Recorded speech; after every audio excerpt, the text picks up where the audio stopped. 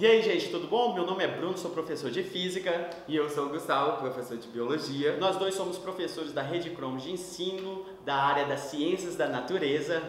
E nós vamos resolver com vocês uma questão interdisciplinar de número 123 da prova amarela. Aproveitando, pedindo para dar um like e se inscrever no canal para acompanhar a resolução da prova, beleza?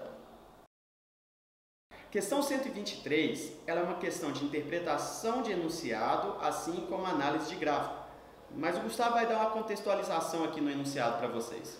Galera, a questão fala sobre a epilação a laser, popularmente conhecida como depilação a laser, que consiste em uma lesão causada no folículo piloso por é, a emissão por aplicação de uma fonte de luz. O Bruno vai falar um pouquinho melhor sobre essa fonte luminosa, mas lembre-se que é importante a gente entender que esta luz, esse, essa fonte luminosa, ela não pode atingir regiões mais internas, como por exemplo a da oxihemoglobina e a da água dos tecidos, como é citado na, no enunciado. Gente, vale lembrar que falou de luz, tem que lembrar que é uma onda eletromagnética e ela é caracterizada por vários comprimentos de onda. Se você dá uma olhada no gráfico, a partir de 900 nanômetros que a água vai começar a absorver.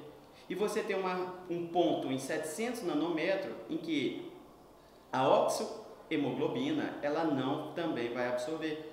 O que te dá esse ponto que não afeta nem esse tecido, nem a água, afetando somente a melanina, que é o gabarito da nossa questão, letra B.